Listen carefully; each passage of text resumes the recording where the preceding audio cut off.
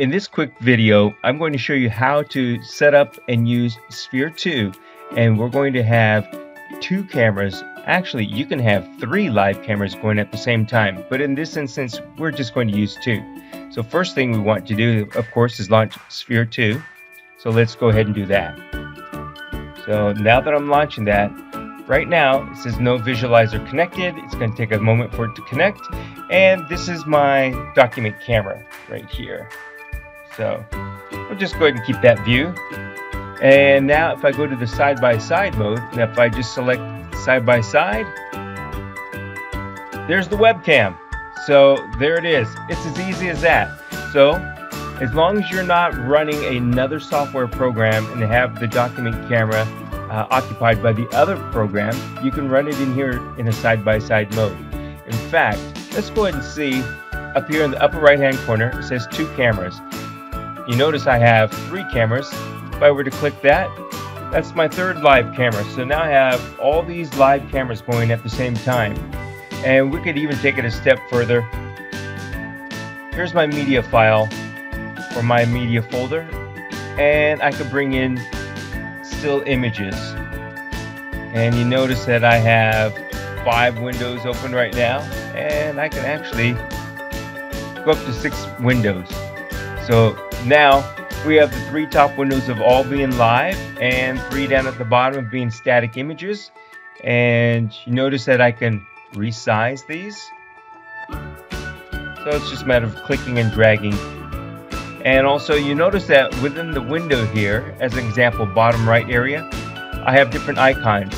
I have one where I can actually delete that image from out of there. I have another where I can expand that single image and then I can reduce that again I can have rotate.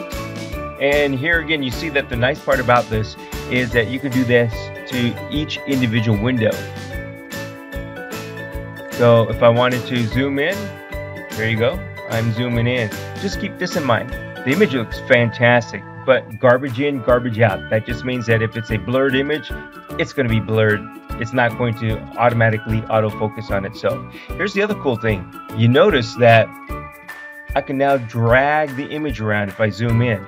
So you cannot do that to the live images, but you can do that to any one of the still images here. So let me go ahead and zoom in on the $5 bill and clicking I could drag it around. So why would I do this or why would I want to do this? How about if you just want to look at one particular area of a map or some sort of diagram? Well, now you can zoom right in on that Again, I'll do this. Select that and hit the plus to zoom in. And here's the other really cool part. If I want to, I can annotate. Now I can annotate across the entire screen. Let's do that. Even into the live. So what if I had a live image of a science project? And then the still images were uh, different times, meaning that if it was something like, oh, chickens hatching, uh, here's what the egg looks like, here's what it looks like after 48 hours, and here's what it looks like after 72 hours. But we can always have a live video going uh, continuously, and then the students can actually see, oh, we're so close to it being uh, time for, for the egg to hatch, or whatever it might be. So that's it. I've kept this a little bit longer than what I probably should have, but that's your basics of bringing in additional cameras. And again, just uh, make sure that, I'm back here to my select, select my source,